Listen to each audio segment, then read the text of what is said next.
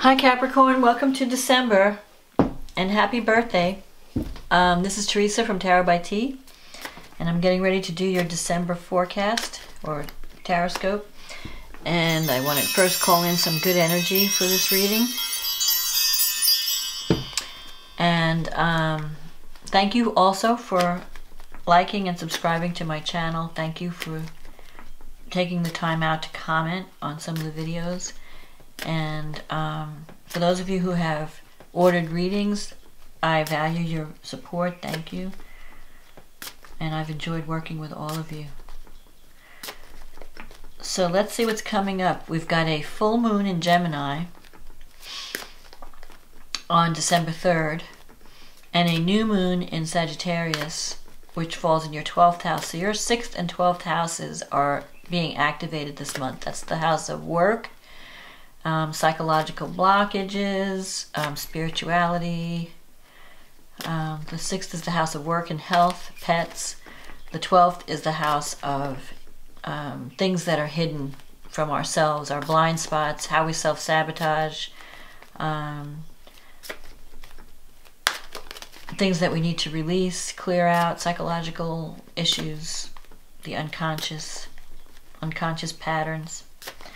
So let's see what's going on with Capricorn. What does Capricorn need to know about love and relationships for the month of December? What does Capricorn need to know about love and relationships for the month of December?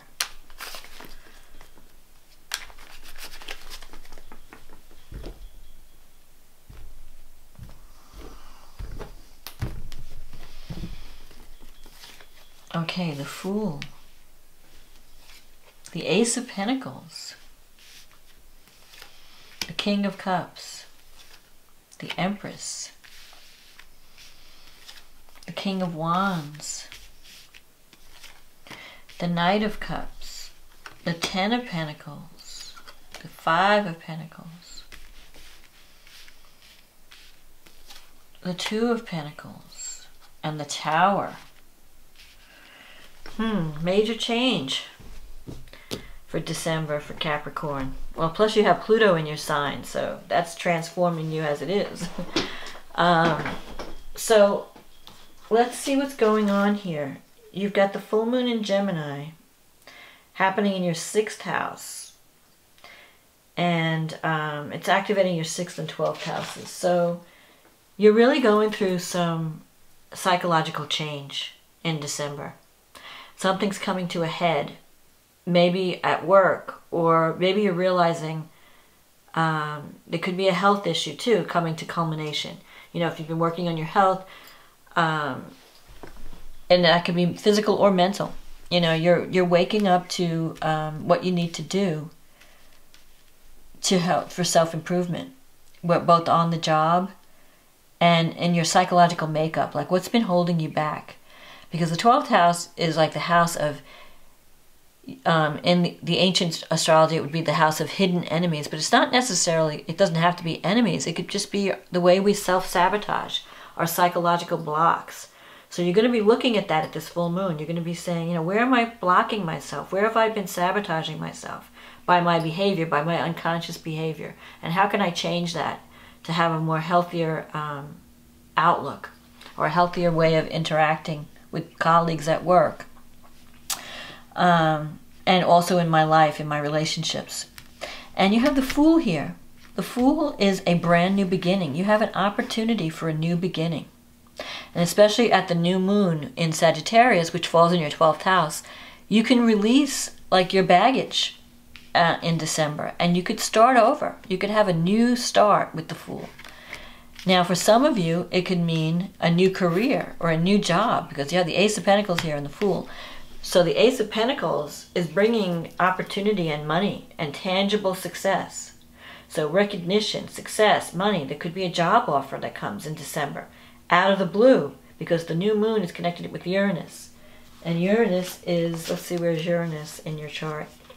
Uranus will be happening in the fourth house. So it's possible that you could get a job where you can work from home or something, some opportunities coming out, coming up at the end of the month. Sudden opportunity.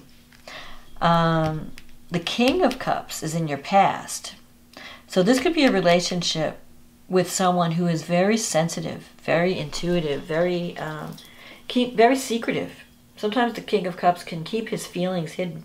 So you could be involved with someone who really cares about you but hasn't really revealed that fact to you, or they're very kind of shy or quiet, and um, you don't even know that they like you, but they do. Um, and the Empress, the Empress is you know a card of home and family and motherhood. So you could have um, maybe you're like a mother to this person, or you're nurturing to this person, and he sees you as a mother. Um, because you're, you know, Capricorns are always take charge type of people. Um, so he or she, and even if you're a male, um, you you can um, you care much about your family and your children. You um, Capricorns care. Family is everything to Capricorn. So um, you could be you could be involved with someone that is hiding their. I, I, I don't know why I have this feeling that someone who's very sensitive, who could be a water sign, Cancer, Pisces, Scorpio and um, they care about you, but they haven't made their feelings known. They keep their, they're very sensitive, very secretive. And then you have this King of Wands coming up in the future. And that's a person who is very outspoken, very, um, very different from the King of Cups. The King of Wands is a leader. They're not afraid to take action. They're not afraid to speak their mind. They can be a little bit bossy at times. Um, but they have a good heart and they really care about um, helping others and they're very good mentor. You know they like to give out advice. They like to help people achieve their goals. So you could be dealing with someone who is helping you in some way giving you advice. Um, so you could be it could be that you're trying to decide between two people. If you're not if you're not committed in a committed relationship if you're just dating there could be two people in your life. Um, if you're in a marriage you could have some sense of renewal because this Knight of Cups, this is like a, a an offer or a proposal. Um, you could have a chance to have a new beginning or a new way of, like, turn over a new leaf. Let's turn over a new leaf and start again. It could be that you've lost contact with someone um, that you once very cared about, and now they're coming back into the picture and they want to reestablish contact and they realize that they made a mistake leaving and they want to come back. Um, and you're going to have to decide um, do I want to take this person back? I mean, basically, you're looking for financial security and you want someone who's that you can depend on. You want to be in a relationship that is stable and that is financially secure. You're, you're needing financial support. And you could have that. I feel like that in a career situation, you're going to be offered a job that's going to bring you more financial security. There's going to be some opportunities to establish a, a secure home if you don't have that right now, or make your household more secure. Um, you could also be dealing with someone in your environment who's going through a difficult time financially, who's having um, going through a depression, feeling isolated, having a hard time making ends meet, and they may come to you for assistance and you may it could be a child, it could be a, a, a, a romantic partner, or even a close friend, someone that you care about, um, that you may feel like you want to help. Because I feel like this person is just feeling alone and isolated, um, like they don't fit in anywhere. Um, and it could also be your own environment, maybe the current the work that you like, whatever you're working now you may feel that you're kind of isolated and you're not making enough money. And for some of you, you may be looking for new opportunities. And if that's the case, if you are looking for a new job, the potential is there. You have to have um, find a whole new job um, to get to really improve your financial situation. So I feel like that's a possibility. And you might even be juggling two things with this two of pentacles here. You might be so I'm seeing two scenarios. Um, for some of you, you might be juggling two romantic partners, trying to figure out which one you're going to wind up with. One maybe from the past. Um, actually, they both could be from the past because they're both kings. they they both they're both people you know. It's not like somebody new, but you have an opportunity to create a new beginning with one of them. Like somebody from the past may come back and want to try again in some capacity. Maybe they felt like um, I think the King of Wands is probably re- re- evaluating the past and um, remembering it with nostalgia. And you may hear from that king wanting to reconnect, wanting to come home in a sense. This is often the card of the prodigal son. You know, this person that that went away and you know thought they knew it all. They had this new life they wanted to try out, and then it didn't work out. And now they're alone and they're struggling, and now they're realizing, you know, I didn't know what I had when I had it, and they may want to come back and um, reestablish contact, and you're going to have to decide whether you want to do that or not. For others, you're existing in a situation where you're doing, you're juggling a lot, and you're trying to make ends meet, and you're trying to make money, uh, and you're pretending to be happier than you are.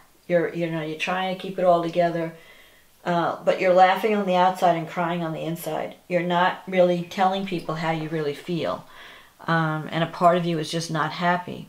Um, with the tower, you are going to you're you are ready to make some major changes in your life. You're ready to break free of an oppressive situation. So if you're in a relationship that's that's feeling very heavy, you may break out of it and decide to try something totally different, totally new. If you're in a career situation, um, the same thing. You may decide I've had enough and I just need to break free and I need to do something different because you have this this new energy here with the Fool and the Ace of Pentacles. Um, that's very lucrative. The Ace of Pentacles is like you know, it's the Fool is wanting to start over, wanting to wipe the slate clean, start over, turn on a new, turn over a new leaf, start a new chapter in your life. Um, but it, it will involve major change. So you're going to have to break down the structures that you have in place to take advantage of this new opportunity. So if you're in a job, you may have to move or you may have to disrupt your life in some way because tower energy is always kind of disruptive. You're like stirring up the dust, you know. You're in this, like, you know, you can't remain in your comfort zone anymore. You can't be on the comfortable couch. You have to take action that really changes things in a major way. So whether it's career or relationship, you have to stir up the dust to make progress but you will. But it but it it promises a favorable outcome. um, and this all could happen. You actually have time cards here. This could happen in a two month time frame. That you're going to be going through some major changes. There might be some opportunity that comes up um, that allows you to make change for the better. That brings you in more uh, greater financial um, security um, and maybe possibly a new job offer but it's going to disrupt your life because you may have to move to take the offer or you may have to change something um, make major changes to profit by this opportunity um, let's see where the new moon is uh, yeah the new moon falls in your 12th house so you're going to break the 12th house is about clearing out and freeing yourself from psychological baggage so you have an opportunity to heal from the past and release all those things that have been holding you back. And um, you are going to evaluate, you know, the resources that are available to you and get yourself on the right path. Um, and that it could bring changes to your home. You might have to move to take advantage of. I feel like you might have to move or change locations to take advantage of this new opportunity that um, it's going to disrupt your life a little bit. Even if it's a relationship, it could be a relationship with someone where you decide to, you know, purchase a house together in a different location. And so you're like changing everything, you know. Um, whatever it is, though, the end result will be positive because the tower never takes away. The tower is good energy, even though people fear it at times because most people don't like change. But the tower is going to break down anything that's stale that is outworn and useless in your life. So if you've been holding on to something that's just not working, but you're not, you know, you just didn't want to break out of your comfort zone, you didn't want to disrupt your life, the tower will come to say, look, enough is enough. you got to change. Things have to change. You've had enough. And so it may sweep things away, but it's really preparing you for a new beginning in a better direction. And you've got that right here. Look at this Ten of Pentacles, Ace of Pentacles, the Fool. You have the talent and you have the ability to have, um, you really need a stronger uh, connection, more intimacy in your life. You've been settling for too little, for too long. Um, and so this new energy, this this disruptive energy is actually going to be a breath of fresh air.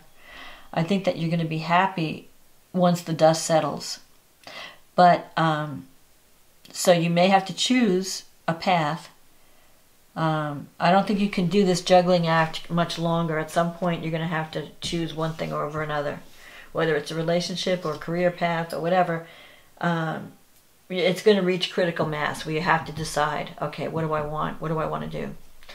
Um, but there are, but these are exciting changes, and I know that change sometimes can be scary, but it, it keeps us alive. You know, it keeps you from becoming, you know, like a rat on a treadmill. You know, change is what brings life. It breathes a fresh breath of fresh air, brings like opens like opening the window and letting the, you know, new air flow in and get rid of the stagnant air. So that's coming in December for you. That can come. You can release a lot of garbage a lot of whatever's holding you back, whether it's psychological fears, psychological blockages, insecurities, whatever it is, the truth is going to come out. You're going to wake up to the truth and you're going to know what you need to let go of. And you're going to be excited with this new opportunity because it's going to bring fresh um, energy into your life. So you could start the new year on, an, on, a, on a more secure footing with more love in your life too. A new beginning. So, um, Hold on to that energy, Capricorn. You can do it. You're the, you're the goat. The goat can always climb to the top. You're not goats. You never keep a Capricorn down long. Capricorns do not like to be.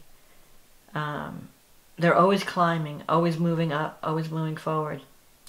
So I wish you much success in December, Capricorn, and um, security, wealth, love, um, and happy birthday for those of you celebrating a birthday at the end of December. And I hope this reading was a help to you, and I will talk to you again next month. Okay, bye now.